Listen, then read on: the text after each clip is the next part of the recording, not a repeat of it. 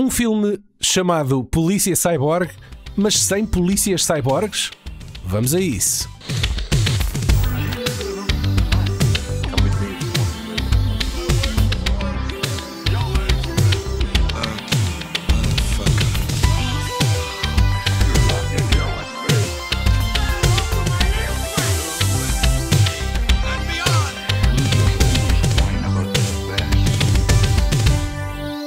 Lá voltamos nós àquela parte esquisita do videoclube.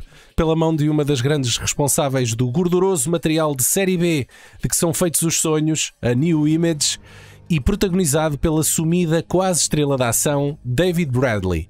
Este jovem já tinha aparecido pelos armazéns pirotécnicos da África do Sul na saga American Ninja e logo a seguir entra aqui numa cópia contrafeita do Exterminador Implacável chamada Cybercop que leva uma operação cibernética clandestina até algures nas Caraíbas. Vamos contar com a ajuda de Sam Furstenberg, o realizador de dois dos três filmes desta saga e pai de alguns clássicos da lendária Canon Films. Já os vamos descobrir a todos. Olá, Paulo. Olá, Daniel. Olha, por acaso não concordo muito com essa comparação que tu fizeres. Não tu me interessa se tu concordas. Não, tá? mas, mas interessa-me a mim. Porque eu até acho que uh, uh, uh, o, o rip-off mais óbvio aqui do Cybercop é mesmo o Robocop. Sim, pode ser o Robocop. E, nem, mas, e, não, e não tanto. hum, mas o Robocop era uma armadura metálica com um ser humano por dentro.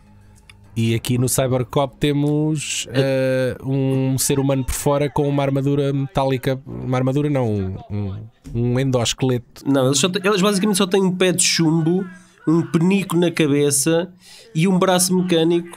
O resto. Não, mas eles têm. Há lá uma, há uma pelo menos O um- resto- aquele, o, aquele cyborg que o, que o, que o persegue eh, lá, lá pelo meio do filme. O gajo até fica com a cara assim meia desfeita. sim, e tu vês que mas- ele por dentro, tem, por dentro tem um esqueleto metálico. Sim, não- mas não é, não é todo, vá, mas. eh, É, uma, é assim uma coisa um bocadinho mal amanhada. é. É, podemos, podemos concordar com isso, não é? Sim, sim, isso, isso concordamos definitivamente. Science is cybernetics, and I am its prophet. Scientific New Wave. P3 prototype Cyborg Assassin. Now. Este filme conta com a presença de David Bradley, que herdou a tocha do Michael Dudikoff, precisamente do ninja americano, e ele interpreta Jack, que recebe aqui uma mensagem com um pedido de ajuda do irmão Philip, um agente do Departamento Antidrogas, que numa operação da DEA, que corre mal, Philip e a sua equipa são capturados pelo Barão da Droga que perseguiam e num twist inesperado, o Barão da Droga, interpretado pelo John Rhys Davis, conduz uma experiência científica para transformar humanos em cyborgs. Jack parte em seu auxílio do irmão, né? Mas antes, antes mesmo que este sofra o destino de ser transformado em cyborg. Não há nenhum polícia cyborg à vista em todo o filme. O filme, na verdade, eh, devia se intitular era Cyborg DEA Agent. Para Mas- aí, na melhor das hipóteses. Pronto, mas os mas ex, ex de EA, que ele já nem sequer estava a exercer. Tu viste o filme agora para o Vi podcast, este né? filme. Pá, eu, vez? estou, eu estou todo enfermo e epá, uma pessoa doente, estar tipo uma tripe febril, ainda Sim. ter de ver o Cybercop, opá, é, eu não recomendo. Pronto, tu estás a ver este filme com 30 anos de atraso. Sim.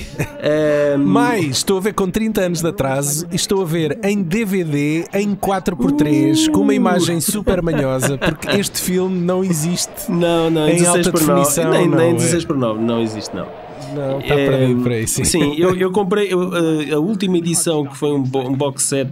Por acaso, a Alemanha ainda é dos países que aporta, aposta fortemente na- no formato físico.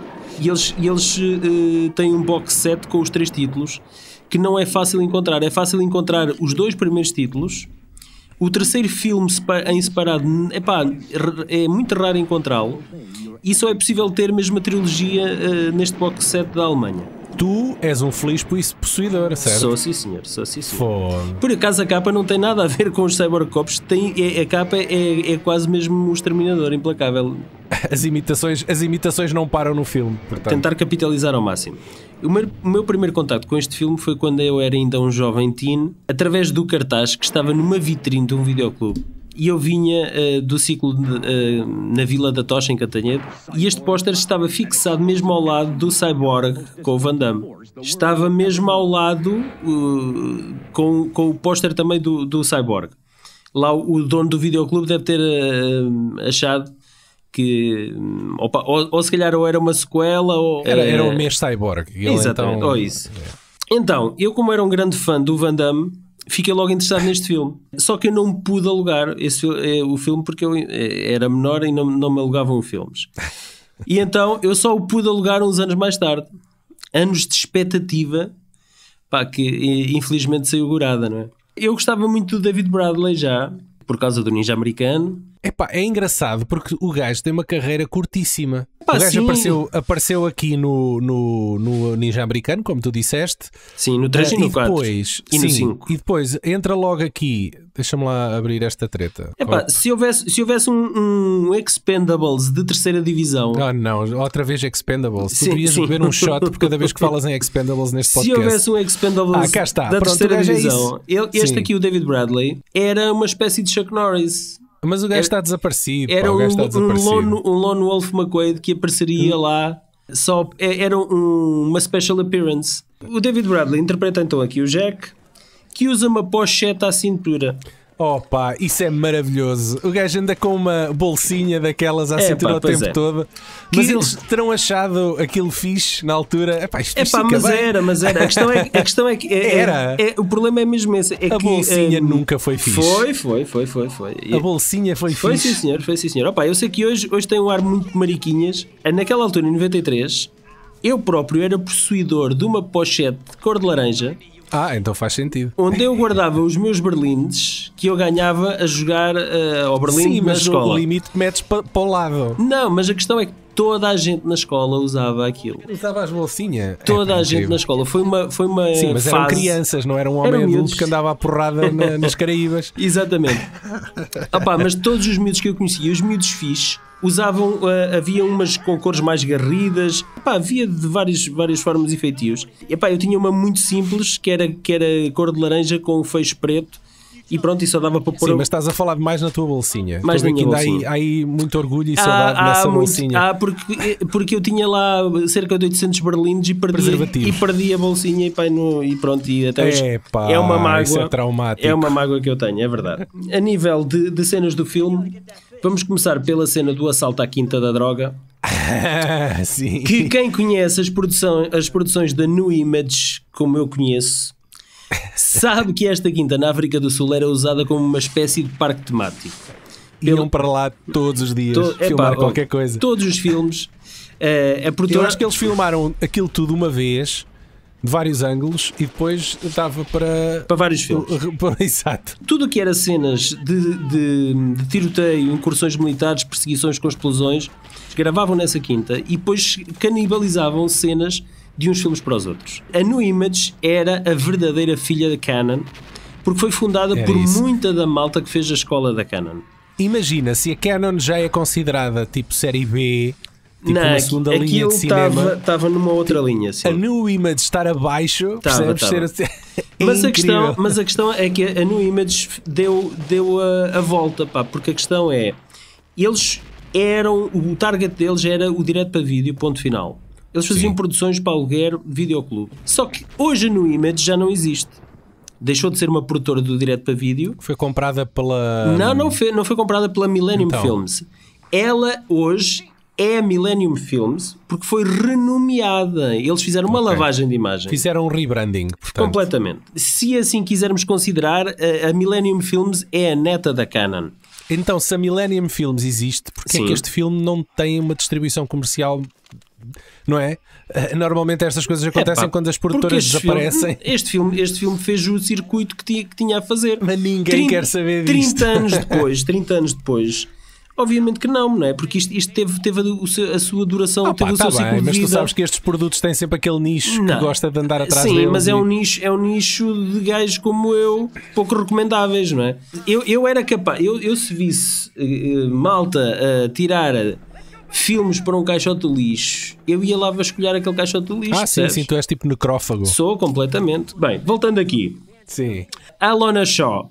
A mesma. Alona Shaw. Ora bem, sim senhor. O que é que tens a dizer da Alana Shaw? Vai, diz Opa, lá. su- surpreendidíssimo porque ela tem uns incríveis vagos. Eu não tinha, se calhar, nada. De, eu, assim, Vagos é um, termo, é um termo que eu não estava à espera de ouvir, mas sim. é tipo quase já velho rebarbado, não é? Deve ser isso. Sim. Mas eu não sei, ela aparece nua no Double Impact. Não, porque ela já não. aparecia. É isso, Não, pois não, eu não. assim, como é que eu não me lembro disto no Double Impact? Ela aqui dá tudo. E ela esteve na origem do conflito entre os gêmeos Chad e Alex no duplo impacto. E ela é, é aqui o reticente interesse amoroso do Jack. Pá, eu só acho que ela em dois anos, entre, entre o, o duplo impacto, Double Impact e e, isto, aqui o. Cybercop, epá, ela perdeu ali alguns atributos físicos, muito honestamente. Achas? Eu acho, epá, não senti a mesma Epá. frescura que não ela, diria isso que ela ostentava. intensa cena de amor. Certo, certo. Eu compreendo o que dizes, mas vendo-a no duplo impacto e vendo-a aqui, acho que desapareceu ali alguma frescura Mas em a, a nível tempo. de quê? A nível de xixa? a Físico, nível físico, de peso? sim, é físico, fisicamente. Emagreceu, é isso? Hum, Não, pareceu-me mais flácida do que no outro filme. Hum. Mas tu conseguiste notar isso num, num DVD de a 360p de qualidade em 4x3? Deu para Daniel, o que eu posso dizer é que eu tenho olhos na cara. Pronto, pá, tá bem, mas os teus olhos não são tipo o scan do CSI, não é? Que consegue São- aumentar a definição do, são do os que está. teus, são os teus. Opá, eu eu estou a dizer Tá aquilo bem, que eu ok. achei. O que, o que ainda é mais estranho do que ver aqui ela na Shaw é ver um ator de primeira linha com provas dadas como o John Rhys Davies, não é? Numa, numa produção como esta, de terceira divisão, e ele é um gajo que tanto entra no Indiana Jones como no Senhor dos Anéis, e logo a seguir aparece num Bloodsport 3 ou numa Anaconda Sim. 3.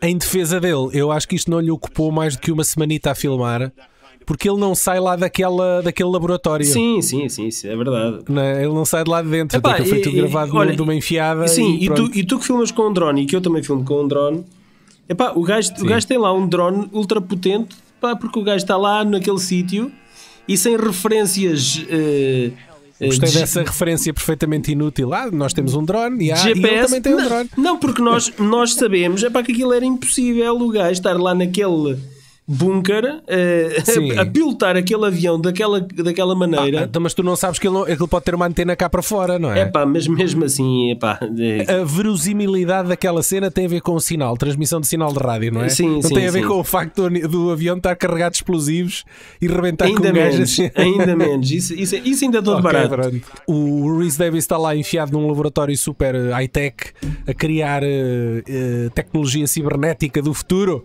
a criar Uhum. cyborgs, mas depois aquilo está tudo lá metido dentro de um pardieiro. É pá, sim, não é? Aquilo sim. é umas barracas lá no meio da selva, Ah, pá, mas depois tem um laboratório lá dentro. E, e tu já Epá, viste. não, não bate certo, aquilo é muito estranho. E, e tu já viste o que é que é necessário para fazer uma transformação em cyborg? Basta trocar um, trocar um braço sem precisar fazer ligações aos nervos. Ah, ah, ah, é tipo. Sim, é? sim, sim. E o cérebro- Não, mas o aquilo já cérebro- tinha um chip instalado. É de- o cérebro assu- maneira. assume que existe ali um braço mecânico encostado à carne e, mexe depois Opa, o braço. Sim, sim, mas depois as próteses de robô que eles têm, aquilo é da coisa mais Não. chunga que eles arranjaram. Aquilo foi feito É, tipo numa o tarde. capacete é, é um penico. E depois tem um pé de chumbo. Para já o filme tem muito pouca ação de cyborg. O filme não entrega o título. Tem, tem algumas cenas com os cyborgs lá pelo Sim, meio, que são o ponto alto. e depois o cyborg principal são- parece que comeu fe- fe- muita feijoada. Pá, o gajo é gordo. Mas as cenas de cyborg são tão terríveis que são incríveis. Sim. Algumas curiosidades. Este filme saiu no mesmo ano do Jurassic Park. Oh, tinha que ser, né? Porquê? Porque o, o, o cientista, lá o chefe, o, o Castle, não é? que é o personagem do John Rhys Davis, a dada altura lá no laboratório diz I spared no expense. Quem é que disse primeiro? Foi o John, o John Hammond. Quem é, qual dos dois é que, foi, é que disse primeiro? Obviamente que foi. Jurassic Park. Não sei se foi. Os dois filmes saíram na mesma altura. Não, eu acho que foi o Jurassic Park que saiu primeiro. Já fiz aqui a ponte com o Jurassic Park. Falta agora fazer a ponte com os fecheiros secretos.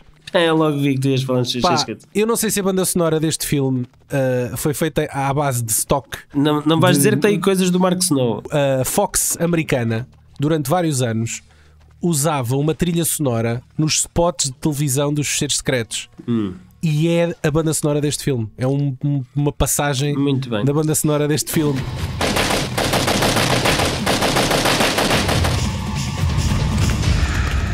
Agent Scully and Mulder are about to make their most startling discovery Contact.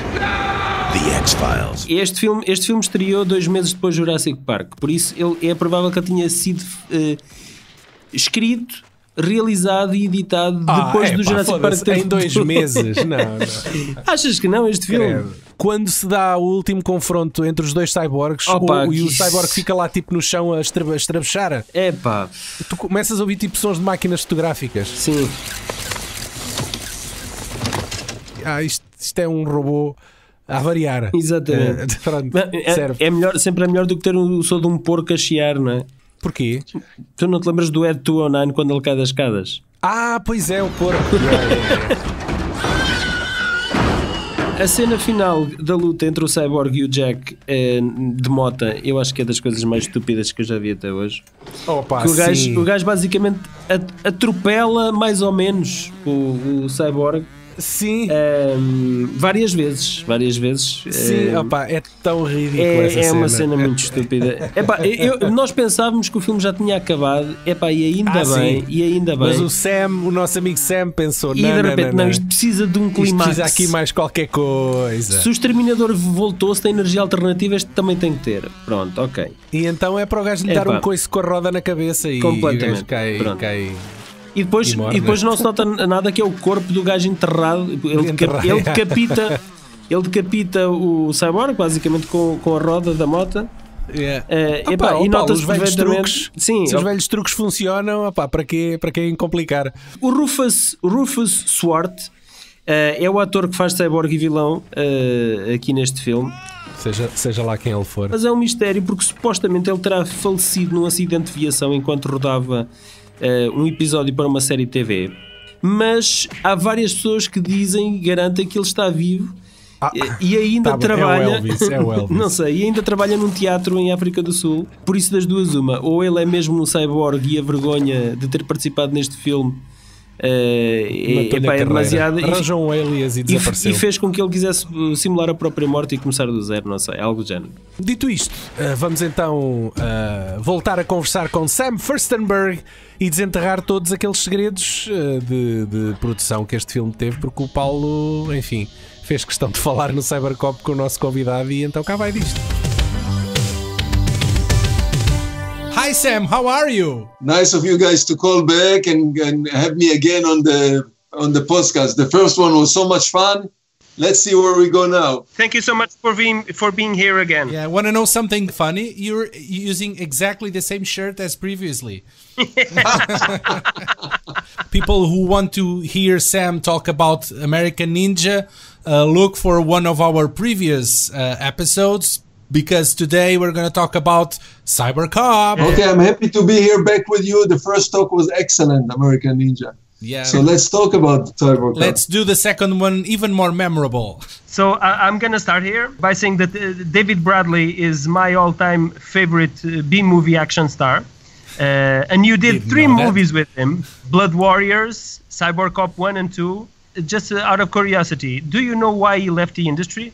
I have no idea. Really, this is a big mystery, not only to me, to many people. Uh, we were making movies, and he was making movies without me, without a director. And one day he disappeared. He got I don't know. it. I don't know why. I, I was in contact with him a lot, even after we made the movies. And then one day, no more contact, and I don't know even where to find him. And but uh, lately, I saw his, he reacted to one of my posts in uh, Facebook, but nobody. Con- So can he's contact- alive. He's alive. People looked for him. The people who made the, uh, the documentary about uh, Canon film, nobody could find him. I think he was such a complete actor in the in the martial arts- arts business. He could act, and he and he was an excellent martial artist. Now we are talking about uh, Cybercop. Was it uh, inspired by Terminator, RoboCop, or Van Damme's Cyborg? Some of the circumstances were financial. Years went by and Canon Film was bankrupt, disappeared. The company, the company that I told you that produced American Ninja uh, sequels, uh, New Metro, they uh, Now, uh, new image, yeah. they want they became New Image. They wanted to start and make movies. It was still in uh, they were still in South Africa before they moved to Hollywood, and they knew me. The people knew me because we had relationship because we worked together before, and they contacted me here in Hollywood and they said we want to make a movie. It was the first movie they wanted to to make. New Image wanted to make a movie. Uh, they like the idea of uh, uh, making something with Ninja. It's a money maker, and they like the idea of Cyborg. because of RoboCop and and the movie Cyborg, the American, the you know there was the Canon movie Cyborg. They like all of this, and but they really didn't know exactly what they wanted to do. Eventually, after a few conversation, we decided to do this idea of cyborg, ninja, cyborg together. But as we developed, we took out the, the ninja idea. Looks like a kid conversation in the kindergarten. Like, let's do the Terminator came, and then the ninjas, and they fight. In the beginning, that's exactly how it was. Oh of course, when we started to work and refine the idea, I pursued them and we pursued. I said, let's take out the ninja. It's too much, too much. Cyborg and ninja and science fiction and RoboCop and etc. So we stayed with the RoboCop idea. Yes. Okay, okay. D- David Bradley here is a DEA agent, uh, and he goes looking for a, his missing brother that was transformed into a cyborg by a drug lord played by John Rhys Davies. This film was shot uh, in South Africa, as you said it before, uh, and it uh, it shows because a lot of the locations that you used were used before. I think on on um, American Ninja 2, uh, some of the locations are, are the same. I don't know if you know this, but a lot of stunts that you shot when the the assault on the drug lord's villa, uh, a lot of those scenes are reused times and times over uh, by other films that uh, New Image produced. New Image was a company that was basically imitating the, the Canon Yeah, formula. the school right. is the same. And they were based in South Africa, in Johannesburg, until they moved to, to Hollywood. So they were based, they had a studio. The reason that you see a lot of location, they had a studio over there in, in, uh, in Johannesburg. They bought a, like a theme park, a par, uh, some kind of a park Oh that my did- god, it looks like a theme park. it is. It is. It was a failed theme park that they bought, and that's where they had their offices uh, and the equipment. And we used everything in the In the area. area. You know, this little building where David Bradley goes through and he jumps with a motorcycle. This this little building was used in many many movies again and again. I mean, South Africa is a big country, but Johannesburg is not a big place, so yeah. they went again and again to the same street, the same. But the main thing that they, they liked, the, the easiest way for them was to, to, to use this theme park, Yeah. this this Yeah. Park to, to shoot. The bomb And they were devices were, were already there. The, Yeah, yeah, all the many same buildings and the the same swimming pool and a lot of. It was a big a big park, and and uh, that's probably why you see them again and again. you see that they put the the bombs exploding in the exact same places. The ramps for the cars to um, jump are exactly on the same places. Everything is on the same place. a Cyber Cup, the first Cyber Cup was the first movie they produced, New Image. They made one small movie pr- uh, previ- prior to this, some ninja movie, very small one. But uh, Cyber Cup was the first movie, and then they made uh, they made many movies over there in South Africa in the same studio. I was there myself with the Cyber Cup number two, and then Operation Delta Force. What what can you tell us about the experience of making um, the first Cyber Cop? Uh, I already worked with David Bradley before. I knew him uh, because we made American Samurai before. I actually made four movies with Bradley, not three. American Samurai, Bloodsport, and two Cyber Cups. And uh, so I already knew David, and we were friendly and good relationship. South Africa at the time, I don't know what it is today, did not have the capacity of making feature movies like uh, the Philippines, not at all. Uh, South Africa was more, uh, the, the film business was more of uh, television, commercials for television, but not making movies, theatrical movies. So the, the, it was a little bit uh, more difficult with the equipment and the, the crew, the expertise of the crew.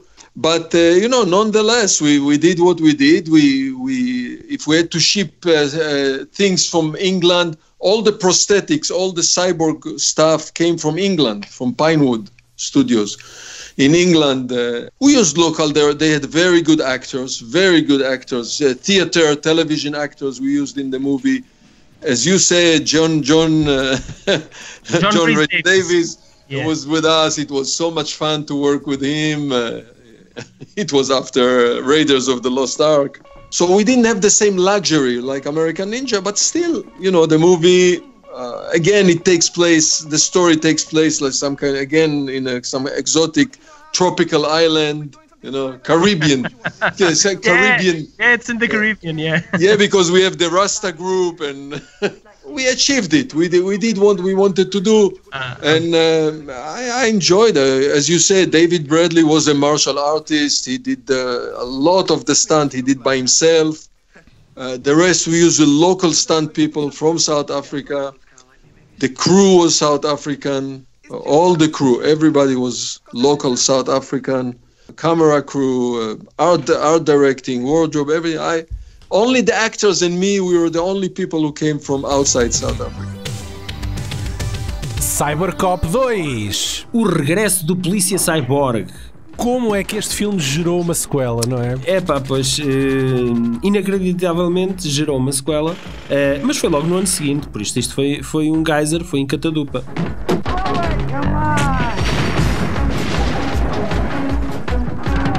Jack está de volta e desta vez perde o seu melhor amigo às mãos de um grupo terrorista.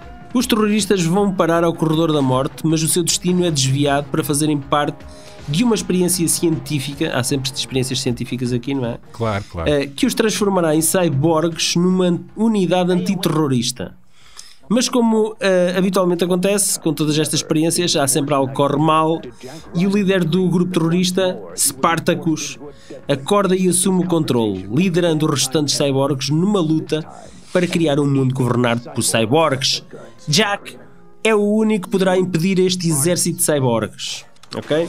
Ok. Dos três filmes, este Então espera lá, ele regressa com o mesmo personagem, tudo direitinho. Eh, Qual é, há, há uma ligação entre os dois filmes ou não? é os, é os cyborgs eh, e é o Jack. A vida dele é cyborgs, coitado, é a sina dele. Dos três filmes, este foi o que eu vi mais vezes, e isso epá, também não é dizer muito sobre a, a qualidade. A sério? Foi que viste mais este que, Vi- o, que o dois? Sim. É verdade, não, vi mais o 2 do que o 1. Um, Ok, ou ok, do que o sim. 3. Porquê? Porque este filme, uma, Ótimo. Este uma- eu, não, eu não cheguei ao dois, pá. uma vez o passou na SIC, num, A sério? num sábado à tarde, e eu gravei o filme. Bem, assim que estava mesmo a passar as horas Não, eh, ou- as não ou- houve uma altura no início, nos primórdios da SIC, que eles Sim, compravam. eles passavam muita merda. É, não, sim, iam sim. àquelas feiras para comprar a grosso filmes, eh, os direitos de exibição de, de algumas coisas. Sim. Opa, e eram filmes que eles, eu lembro-me das promos que a SIC fazia. E agora não perca esta tarde o filme, não sei o que, não sei. Opa, e, era, e era filmes deste género, filmes da ONU e dos filmes diretos para vídeo. Yeah. Não é? Epá, que Sim, eles na altura um gajo também que eh, não questionava muito, repetiam, é? estreia em televisão. Não sei o quê. Epá, é um filme que eu já tinha visto na, na TVI e vice-versa. TVI, estreia em televisão. Não, foi estreia na SIC. Não, não, era estreia em televisão. Ah, eles diziam mesmo isso? Não era estreia na SIC ou estreia na TV ou fosse onde fosse. Era estreia em televisão. Portanto, Não a- não, havia ser. quem controlasse muito bem isso. A malta dizia isso porque achava, epá, é impossível que isto tenha passado. é impossível, Claro. não é? Quem é que viu Claro. isto? Nunca, epá. Alguém viu isto a dar na TV? Claro que Epá, não. Acho, acho que não. Acho a, que a não. malta, Então- a então malta devia. Estreia. Alguém lá numa sala de- devia dizer algo três vezes. Alguém viu isto? Vai uma. Alguém viu isto? Vai duas. Epá, a cena inicial deste filme é para mim um rip-off tremendo à cena de abertura do Darkman do Sam Raimi. E há toda uma colagem generalizada aqui ao Máquinas de Guerra com o Van Damme e o Dolph Lundgren. Se o Robocop tira, uma- tira a arma de dentro da coxa, não é? Os cyborgs retiram um punho metralhadora de dentro do peito com munições ilimitadas. Pá, aquilo era uma coisa impressionante. É um filme maior que o primeiro. É epá, não, não é. Trazendo ainda há mais chungaria. É uma coisa impressionante. Os efeitos são terríveis. Eles agora aqui têm um boné, em vez, em vez de terem aquele capacete estúpido, agora têm um boné que ainda é mais estúpido, com circuitos que ligam à motherboard. Pronto, aqui a parelha romântica desta vez é interpretada pela belíssima Jill Pierce. Belíssima. É duas vezes bela. Belíssima. Eh, Mas olha, de uma coisa, uma pergunta extremamente importante. Diz. O Bradley continua com a sua fanny packzita ou, ou deixa-se disso? É pá, não me recordo. Não me recordo. Eu acho que sim.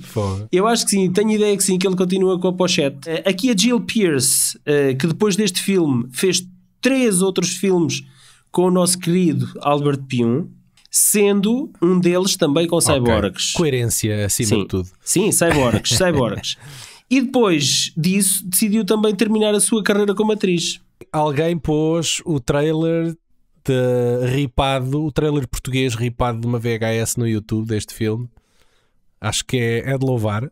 Não foi não, o não foi José Santiago. mas José Santiago uh, uh, postou o trailer do. Ah, do acho que do, do 1, sim, sim, Do sim, um, sim. Na, na conta dele do Direto para Vídeo. Do sim. direto para vídeo, exatamente. Sim. Opa, e, eu, eu por acaso nunca tinha visto o trailer, ficaste mas, mas babado, não, não é? o trailer faz jus ao filme que é. Mas olha, uh, para além disso, uh, como ninguém quer saber dos direitos destes filmes e vocês estiverem mortinhos de curiosidade para ver, pelo menos o 1 e o 2 estão na íntegra no YouTube. When I was a kid, on my way to school, uh, I passed the video store that had the poster of the film in the window, a big poster, uh, and I wanted so much to see it because it is, is it was so over the top, and uh, I I was not old enough to to rent it. So I, so I had to wait a long time to see it eventually, and then I I, I, saw the the second one uh, first, uh, and then the the first one. You know, the story is not continuing. It's No, a, no, every one of them is an independent story. Yeah, yeah, continue. yeah. I, I noticed that, and I, I- I had a small crush on on the girl played by Jill Pierce, who, who also has uh, disappeared from the from the industry. Uh, Correct. I haven't seen her uh, in any more films, but I enjoyed more the second one. I don't know if, if it's the waiting, you know, the build up on the waiting. but I, I enjoyed more the second one. It's, it's a more urban urban uh, film. Very urban film, right, right. Yeah, as we mentioned, the first one was a ki- kind of Caribbean island, Caribbean uh, r- exotic place. The second one was actually the second story, and we shot it in South Africa. We we made it look like it's an American place. Yeah, yeah, yeah, yeah. There are a couple of shots of David uh, driving here in Los Angeles. Uh, we we build a American bar over there in, in Pretoria. There are a couple also few uh, wide shot of the street, but we have to reverse the traffic because the Oh. traffic in South Africa is like Ah, in England. yeah, yeah. Yeah, yeah. Pretoria looks like America, and luckily the mixture of the people are uh, like American, black and white, uh, 50-50, you know, mix. On the second one, we have a, a rebellious cyborg named Spartacus that wants to conquer the world, and Jack is back to set things right. The first scene, where you have an hostage situation, in every movie that I directed, I like to open with a big action sequence, something big. Usually, when we write the script, we don't describe the action to the finest details. We don't have control like big budget movies, so we have to find location. When we find a certain location that we like, we start to tailor the action around the location. Mm-hmm. Of course, we keep the same element, the story element that we decided when we wrote the script. But then now you have to, we start to improvise, and I work with the stunt people, with the stunt crew, with the stunt coordinator, and we start to to build the the action around the location that we find. You know, the studio, the big major movie, whatever they decide to do, they have to build location. They build it exactly to the specification of the script. We don't have this luxury, so we go in reverse. And I always try to look for exotic, interesting, something interesting in location. So we found this warehouse, as well as the, the final sequence at the end with the power plant, with the electric plant. And we started to build the, the action around it. I remember, you know, it took some time, and I remember what I really wanted. One thing, I wanted David Bradley flying in the air and shooting and landing. That's I really wanted it incorporated into the movie, and we did it into this uh, sequence, shooting Like- two guns. okay, like like a John Woo movie. or- John Woo movie, exactly influenced by John Woo, exactly. exactly. Have, have you seen Cyborg Cop 3? No, I never saw. I, I didn't even for many years. I didn't know that they continue. I knew about the American Ninja that they continue, but I didn't know that they continue. One the day side. you were passing the street and looked uh, at a video store, and there it was Cyber Cop 3, and you, what? Very interesting. All the Cyber Cup movies in North America they did not come out on a disc, not yet. New Image don't have it anymore. The company New Image or Millennium, they sold it in North America, in America and Canada. They sold it to another company that does not exist anymore, Vidmark. I bought the pack from Amazon in Germany. It- Yeah, yeah, in, Euro, in Europe, yeah, there, there is a European German- version. yeah. Yeah, yeah, and I found it only lately. I found it in Europe, but here in uh, US we don't have a DVD yet. Just to tell you that you are very lucky to have not seen uh, Cyber Cop 3. okay. Thank you for letting me know. Ok. 1995 temos o Cyborg 3 do, Ora, cá está, do Yossi Wayne. Desta vez o Jack não regressa, mas temos uma dose dupla E o Sam, policial. o Sam, o nosso Sam também não. O Furstenberg também não, é verdade. Também não.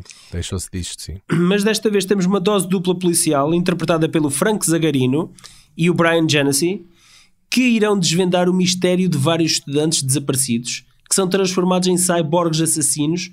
Imagine lá por quem? Por quem? Por cientistas malucos. E, Claro. por, e porquê? E porquê? Porque sim.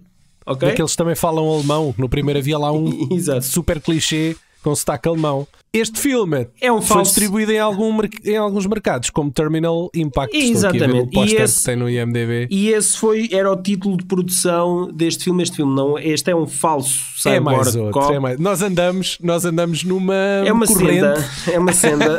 Sim. de sagas que terminam em falsas Sim, sim. sequelas, não é? Ou seja, padece, padece do mesmo mal que o Ninja Americano 5 e o Bloodsport 4. Era um filme com outro título, como o Daniel disse, era o Terminal Impact, mas que na hora da distribuição os produtores decidiram renomear o título. Espera lá. Isto se calhar ficava bem, mas é engraçado que eles acharam que mudar isto para Cybercop 3 era um, Iria impro- beneficiar. era um improvement. É, iria beneficiar. Para capitalizar alguma fama não é, dos predecessores que tinham, eh, epá, como este filme, eh, tinham cientistas e cyborgs, então por que não, não é? Vamos aproveitar. Yeah. Então aqui, eh, a New Image col- colocou duas das suas estrelas de série Z no cartaz. O Frank Zagarino e o Brian Genesee entram em ação. O Zagarino tinha começado a carreira como parceiro de treino do Dolph Lundgren eh, em máximo potencial e em alguns filmes italianos de baixo orçamento. Por seu lado, o Brian Genesee, o único highlight da sua carreira foi ao lado do Carl Weathers na série Street Justice, que eu via religiosamente quando era miúdo. E depois disso, eh, pá, foi sempre a capitalizar, a capitalizar o sucesso dessa série e, e não passou da New Image para, para, para cima, ficou sempre por ali. As outras estrelas que apareciam regularmente na New Image eram o Joe Lara, que faleceu há, há dois anos, julgo eu, num acidente de, de avião, o David Bradley e ocasionalmente o Jeff Speakman. O ponto de vista do Cyborg aqui neste filme não se enquadra minimamente com o campo de visão. Parece que tem várias câmaras espalhadas com diferentes perspectivas.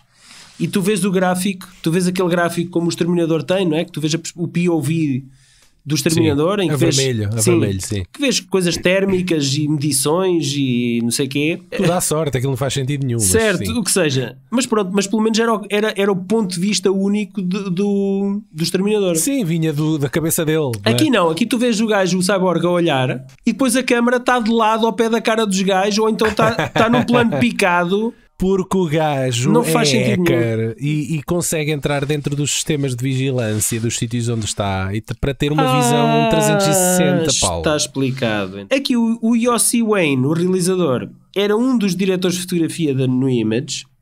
eh, e sempre que o orçamento de produção era mais reduzido que o habitual, que foi o que Bora aconteceu buscar aqui. um tapa-buracos. Exatamente. Ele era convidado para fazer também a realização. Curiosamente, para o lugar de diretor de fotografia, eh, neste filme convidaram o Rod Stewart. Rod Stewart, quem é esse? É um músico. Ah, ah mesmo Mas é- um músico? Não, É- mas não pode ser, não, é ele. Não, é um sósia de, Ah, é um sósia de nome. Ah, ok, ok, ok. Posto isto, e uma vez que nós encerramos aqui a trilogia, vamos agora convidar-vos a seguir mais atentamente a carreira do nosso convidado, de Sam Furstenberg, que acaba por ser um nome importante no, no cinema de ação série B dos anos 80 e um nome incontornável na história da Canon Films. E por isso vamos conhecer passo a passo todos os filmes que ele fez no Eixe esse Esse gajo! I couldn't think of a more horrible job if I wanted to. Pois é, Daniel. Então, e desta vez trazemos aqui um eixo muito especial. Eu já há muito tempo que eu não fazia um eixo. E hoje vamos fazer aqui um eixo um pouco diferente. Desta É, vez vamos ter a, a a participação do próprio, do próprio Sam. próprio. Então, o Sam Furstenberg nasceu na Polónia em 1950, mas cresceu em Jerusalém e, ainda jovem, em 1972, emigrou com os pais para os Estados Unidos, onde se formou em cinema na A Universidade terra da oportunidade. na Universidade de Loyola, Mary Mount. A sua primeira oportunidade surgiu nos corredores da Canon, quando Menahem Golan, que andava à procura de alguém para fazer um filme de ninjas, Sim. pá, fosse lá ele quem fosse, epá, e, e era alguém para fazer a sequela do seu filme Enter the Ninja, com o Shokosugi. Esse alguém epá, podia ser um vendedor de alcatifas, mas calhou ser o Sam Fistenberg, que estava na hora certa e no corredor certo. Firstenberg apenas tinha feito um pequeno filme dramático de estudante com a Christy Alley e Menahem disse que ele estava contratado. E assim. Sabe- sabes segurar uma câmara? Ok, fiz, siga. Pronto, exatamente. Sabes onde é que é o botão do REC? Ok. assim começou a longa carreira de Firstenberg no meio do desenrascanço da Canon Films. Firstenberg começou com o pé direito, com Revenge of the Ninja, inexperiente, mas competente o suficiente para que os primos Golan Globus continuassem a apostar nele. I learned a lot about new world for me, martial art, uh, Japanese culture, and it was really, really nice to put my hand into action and and to be successful. Seguiu-se Ninja 3 da Domination, um filme estranho que mistura mitologia ninja com o sobrenatural. Mas essa combinação parece-me incrível. É, é, é, é terrível a muitos níveis, mas com o tempo ganhou um, um semi-estatuto de culto, como So Bad It's Good. O Sam já nos vai contar porquê. At the time when the movie came out, it was not as successful as The Revenge of the Ninja. I think people people did not accept the fact that uh, uh, it's a female hero. But lately, in the last four years, it's bigger than Revenge of the Ninja. Yeah, yeah. It became a cult movie, and it's screening all over the world in festivals. Furstenberg fez uma pausa ninja para se dedicar a outro tipo de coreografias. Danças hip hop, em Breaking 2 Electric Boogaloo.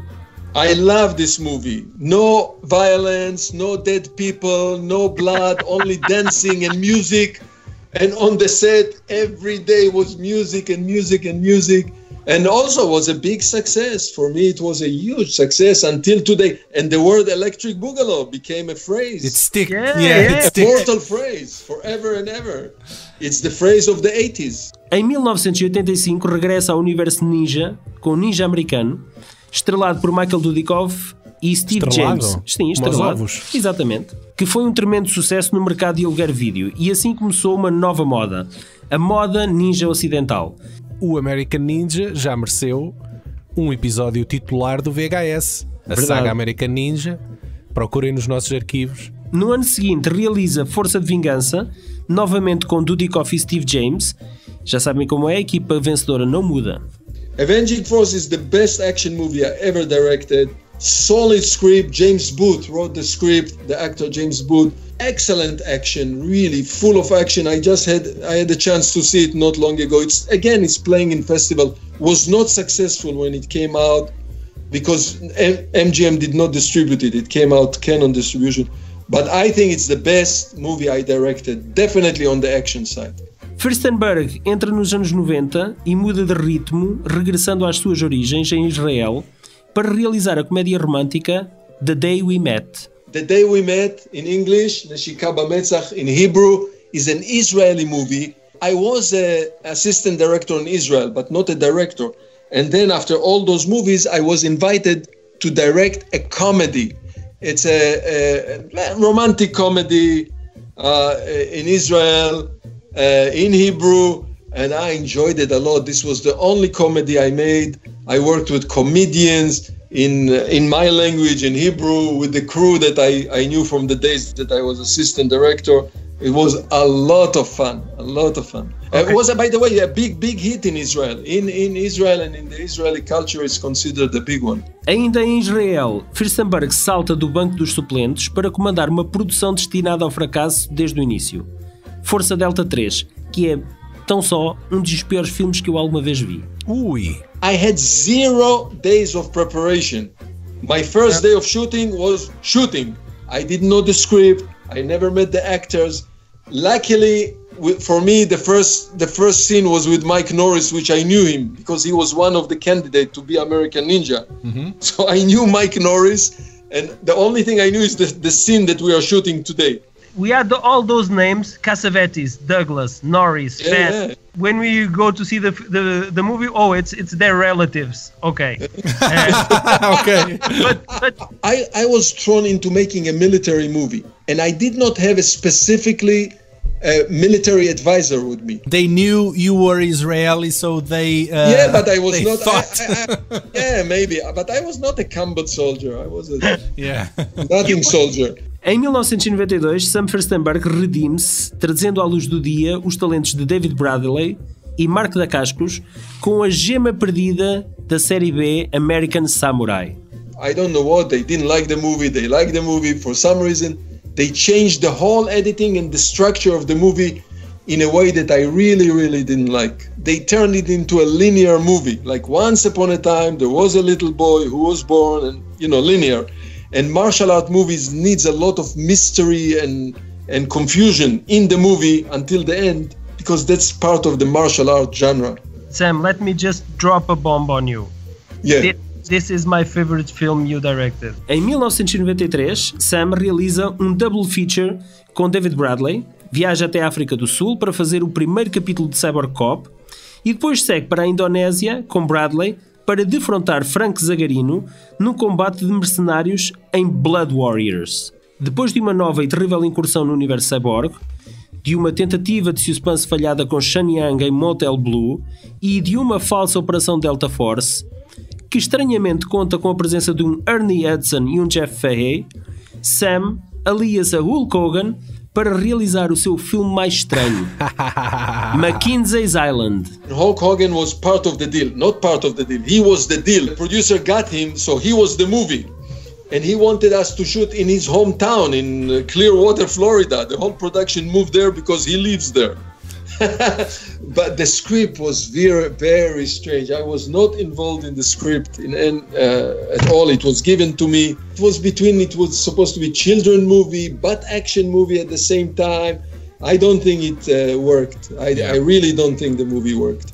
Entrando no novo milénio, Firstenberg rodeia-se de um elenco sonante com Eric Roberts, Ice-T, Michael Madsen e Brian Genesee para realizar um pastelente filme de intriga que envolve o rapto do presidente dos Estados Unidos, em The Alternate. The experience of working with Eric Roberts was tremendous, tremendous. Uh, an actor on a A level, you know, good, good, uh, solid actor, unbelievable. It was a big pleasure for me to work with Eric Roberts. The problem is when you make a movie about the president of America, you cannot make a very, very low budget cheap looking movie. President comes to a press conference, you hardly see like 10 reporters, uh, 40 guests. Everything has you know, to when be the small. president yeah. comes, American president move from place to place. It's much, much bigger and much, much, much. Yeah. Should have been much bigger. Depois, Firstenberg envereda pelo caminho do crime e sedução com o esquecível Chris Cross.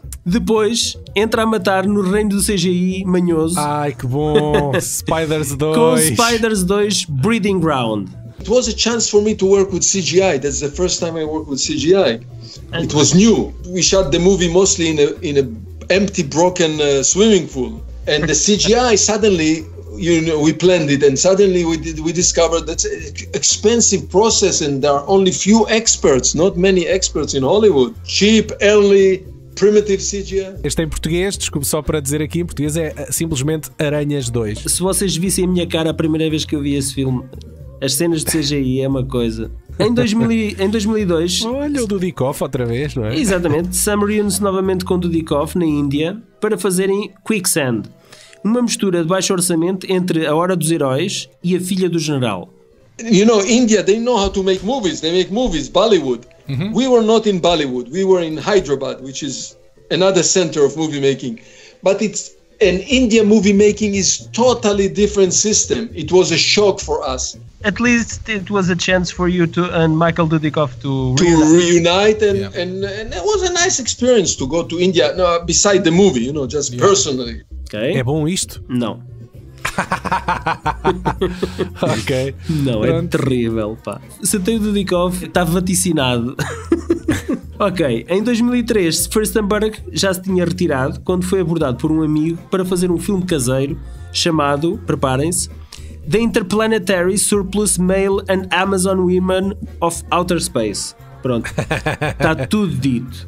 you know this type of sci-fi people are not interested in anymore it's dead But if we can make a parody, if you're willing to make fun, I will go with you. I don't care how cheap the budget is. So he agreed, not continuous shooting, no money at all, zero. Budget was zero. There was only money for food. so everything was improvised. E este foi o seu filme de despedida. Por estes dias, Sam dedica-se à bricolagem e carpintaria na sua garagem e nos tempos livres escreve, escreve, não escreveu, o seu livro de memórias que reconta inúmeras aventuras insólitas que viveu nos tempos áureos da Canon. O livro chama-se Stories from the Trenches Adventures in Making High Octane Hollywood Movies with Canon veteran Sam Furstenberg. É um calhamaço do caraças e certamente valerá a pena.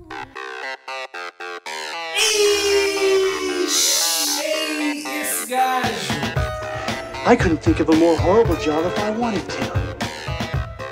Sam, I guess this is this has to be the last question. Any new Yes. coming projects and anything in the future? Because your last movie was in 2003. That Yeah. was some time ago. Why, why haven't you directed again? number one for not directing is that really the, the type of movies that I really was making, low budget genre movies, this type of movies disappeared. Mm-hmm. There is no movies in this field anymore.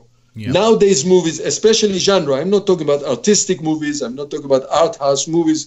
Genre movies are either big, big, big budget. You know the movies today, one and 150 million, 200 million dollar budget, or they are very, very, very cheap action movies under one million dollar, which is impossible Yeah, to make. doesn't so work. really, the field, the field of my so-called expertise, where I was put in this box by Hollywood, disappeared. So what are you doing now? I'm very busy. I have a hobby. I build furnitures. I make furnitures, carpentry. I have a workshop at home. Uh, I, I was very busy with this book for three years with Marco, helping Marco Sidelman to put this book together.